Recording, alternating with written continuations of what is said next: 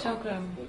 He said he took a razor blade on his own and, and cut the bullets out of his leg because he was too scared to go to the hospital. Because he says that the riot police came in and, and beat him while he was in his hospital bed.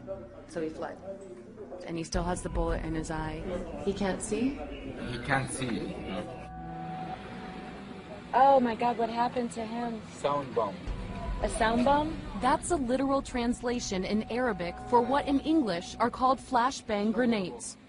You have people wounded every day and you don't know how to deal with them. You don't know where to take them. Doctors are getting beaten, tortured inside the hospital. Nurses getting arrested and beaten inside the hospital. And- it's really humanitarian crisis we are going through now.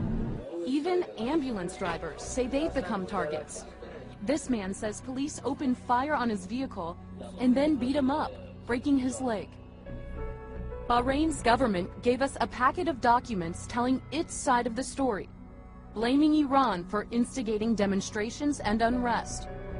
In one paragraph, they accuse activists of doctoring photos, fabricating injuries, and Bahrain's foreign minister says security forces are not firing on unarmed civilians. The police would not walk into a neighborhood and start shooting people.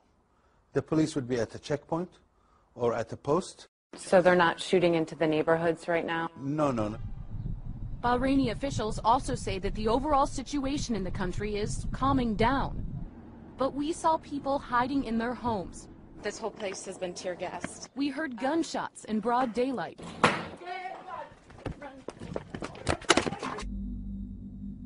It seems security forces have contained the opposition in the villages, making it invisible to the rest of the world.